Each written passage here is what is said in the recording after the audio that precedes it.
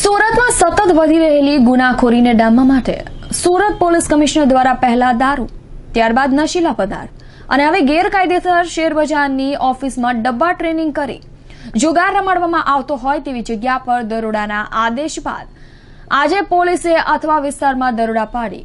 જુગાર રમાડતા શખ્સો સાથે ત્રણ લાખનો મુદ્દામાલ ઝડપી પાડી. કાયદેસરની કાર્યવાહી હાથ ધરી છે. સુરતમાં છેલ્લા કેટલાક સમયથી ગેરકાયદેસર પ્રવૃત્તિ સાથે અનેક ગુનાઓ બનતા ગુનાખોરી સતત વધી રહી હતી. જેને લઈને પોલીસ કમિશનર તરીકે ચાર્જ લીધા બાદ સુરતમાં ગુનાખોરી ડામવા માટે સતત પોલીસને કાર્યવાહી કરવાના આદેશ વચ્ચે પહેલા પ્રોહિબિશનના ગુના અને ખાસ કરીને દારૂના વેચાણ અને તેની ખેપ મારતા લોકો પર પોલીસની તવાઈ જોવા મળી હતી. જોકે ત્યારબાદ નશીલા પદાર્થનું વેચાણ કરતા લોકો પર સુરત પોલીસે તવાઈ બોલાવ્યા બાદ જુગાર અને તેમાં પણ ગેરકાયદેસર બજારનું ટ્રેડિંગ કરીને જુગાર રમાડતા લોકો પર તવાય બોલાવવાની શરૂ કરી છે.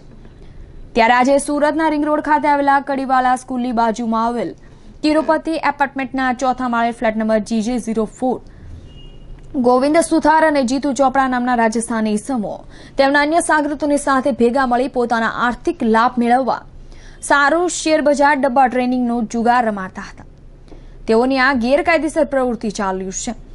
જે બાતમીના આધારે સુરત રિંગ રોડ કડીવાલા સ્કૂલની બાજુમાં આવેલ તિરુપતિ એપાર્ટમેન્ટ ફ્લેટ નંબરમાં રેડ કરતા, ત્યાં કામ કરતા આરોપીઓ સુમિત રાધેશ્યામ લથડ, હરીશકુમાર ગોવિંદ રામજી સુથાર, અભિષેક અમરનાથ મિશ્રાને ઝડપી પાડવામાં આવ્યા હતા.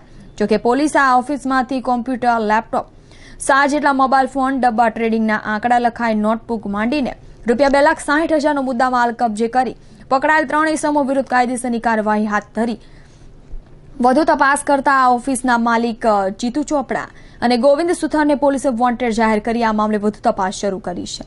જોકે પોલીસની આ કાર્યવાહીના પગલે શેરબજારના નામે ડબ્બા ટ્રેડિંગ વડે જુગાર રમાડતા લોકોમાં ફફડાટ મચી જવા પામ્યો છે.